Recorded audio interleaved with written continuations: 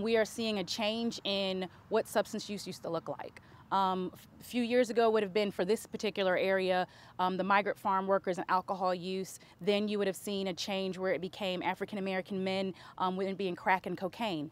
Um, now you look and you can see, if you look into the room, you see Caucasian men that are addicted to either meth or opioids. Um, and that's kind of the face of substance use that we've seen change. How does that face change? Is there any science behind it? Why would a guy like me seem to like meth or heroin more, and someone who doesn't look like me likes some other substance. What we found for here, um, with the as it relates to the opioid epidemic, is that they didn't wake up one day saying, I just want to start trying IV heroin. Um, what actually happened is we see a lot of people that got hurt, injured. Um, they've had great jobs. Some have been in law enforcement, some were professionals. Um, and when they got hurt, they got prescribed some opioids. They needed it more and more. And then at one point, their prescriber said, I'm not giving you anymore. And then they turned to what could I get on the streets? Um, what's that's expensive on the streets? What can I get cheaper on the streets? And then all of a sudden, now they are addicted to IV heroin. It seems more socially acceptable to go to a doctor to get a pill than go to a street dealer to get a pill or heroin. But that's where this has gone. So how does that happen? Well, that's what the change is because even when you first meet people that maybe aren't to the point yet where they're saying, I think I have a problem, they don't even realize it half the time because they're saying, No, I'm, I'm hurt. I, I need I need more of this medication. And truth is, if you get into the science of it, they actually are experiencing pain. I won't get into the science of it, but actually, the abuse of it, it actually does start to um, affect the neurons that make them feel pain. So when they're saying they're in pain, they're legitimately in pain and they're seeking what can alleviate that pain. And before you know it, they're in addiction. But if I'm in pain, I'm not addicted. I can't be addicted. I need the medicine to be treated, you say. And that's who I then have to say, you have a problem to someone that doesn't think it. I'm not addicted. I'm not a drug addict. This is not who I am. I have a family. I've been raised right. I'm from this area. And then how do I get here? Um, and then I've had one person even cry and say, well, why would my doctor give this to me if this could happen? People don't know that. Even the prescriber, when giving it, doesn't know if this one week is going to do it or if I write this 30 days, this going to be the tipping point for the person. Some of it we don't know. It's got some family factors, environmental factors, but someone wakes up one day and all of a sudden, yes, this is you. I assume you've counseled people who have been addicted to opioid in the pill form, what would otherwise be legal prescription, and you've seen people who have converted to rec- will be a recreational drug, but really it's a type of pain relief therapy. What's the difference in the approach and in the mindset from that person who's hooked on pills versus a person who might be hooked on heroin or fentanyl or some derivative? What we've seen is the stage that they're at. Um, those that we've seen that where it's at the pills, usually they're at the point where they have insurance, they have a job, they have finances to pay for it.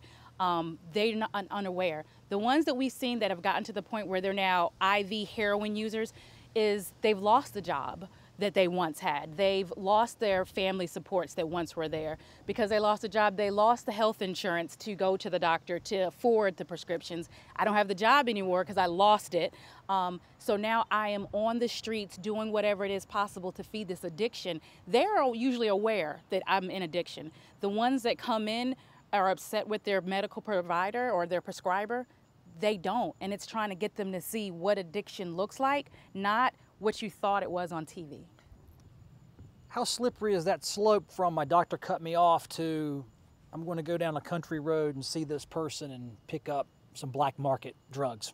It, from the time the doctor cuts off, we usually start seeing what's called doctor shopping. That means my doctor says no, I'm going to go see if another doctor will say yes.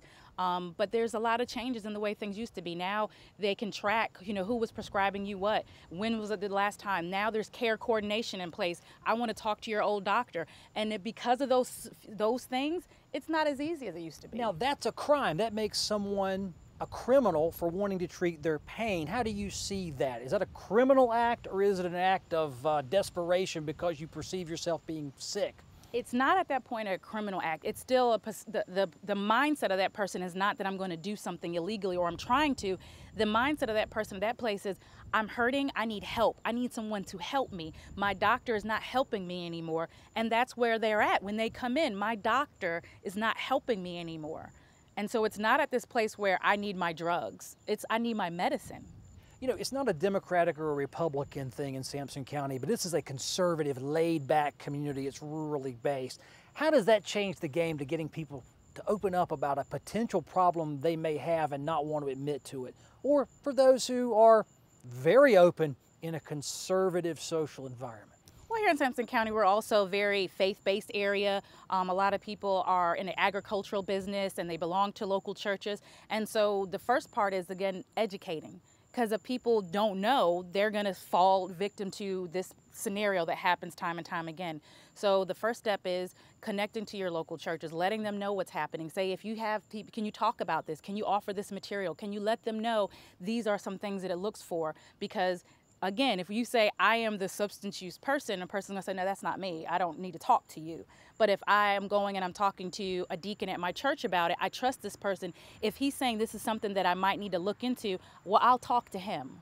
What is the appropriate response when you realize you might have a problem? You live in a rural area, social uh, sensitivities aside, you go to your church deacon, as, as you said, but there's also facilities here like CommWell Health. What's the right call? Well, some of the times what we see is we tell, they're not ready to say, I need to go to behavioral health. I'm not ready to go talk to the substance use. They'll go and they'll talk to their doctor. And when their doctor is saying no, they may say, well, maybe have you considered that you might want to talk to someone about this because if I've given you this and you've been using it all up in this short time frame, is with the medical doctors see, I'll do this prescription, but you're done with it in a week and it was meant to be for 30 days. We need you to go talk to someone about that. Oh, but when I go to the addiction center and when I go to the official government medical facility, that's a real problem. I don't have that. I'm just playing the devil's advocate here. I can talk to my pastor about it, maybe a sibling, maybe a parent.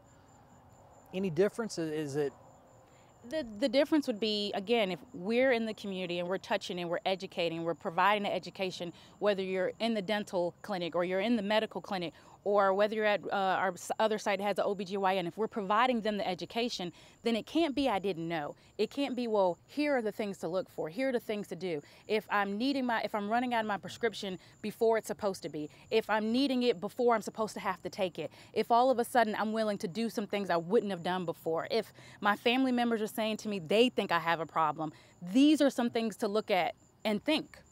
From your perspective, working at CommWell, is the opioid crisis as we see it in modern times, how does it compare to the crack cocaine issues, the alcohol issues, cocaine issues maybe back in the 80s? Uh, is it always really bad in crisis or is there something different about opioids? I think the way that it, it, it comes about, especially when the ones that we're seeing now, when someone decides I am going to uh, smoke crack or snort cocaine or I am going to take this illegal uh, methamphetamine that's been done. They have the knowledge that I'm going to do this for a certain experience. I'm doing this because I want to know what this will make me feel like. When someone slips from the part, and there are those still that do say, I want to go try heroin, but those that start with the, the pills and then they slide down that slope, they didn't wake up that morning saying that. They woke up saying, oh, I've hurt myself. They've told me to go to my doctor about that. My doctor prescribes me this. So the, the population has changed. These are not people that are uneducated. These are not people that don't have homes, families, um, cars, um, insurance, and are looking at retirement. Th those type of drugs and, and addictions didn't touch th that population. So now you're touching a, a group of people that feel like this shouldn't happen to me because I'm not I'm not the addict. What is the perspective of the person who's facing a substance use disorder? Do they know that they're affecting their family at the level they may be affecting? Usually not until things are getting lost, when the consequences of their actions are, are starting to hit. When all of a sudden I've got to hide that the mortgage hasn't been paid from my wife and now she knows um, when all of a sudden my job is saying I've lost it because I haven't showed up or I've showed up intoxicated or I called didn't call in um, one day. When the consequences happen, that's when they say, "Wow, okay, there's there's a problem."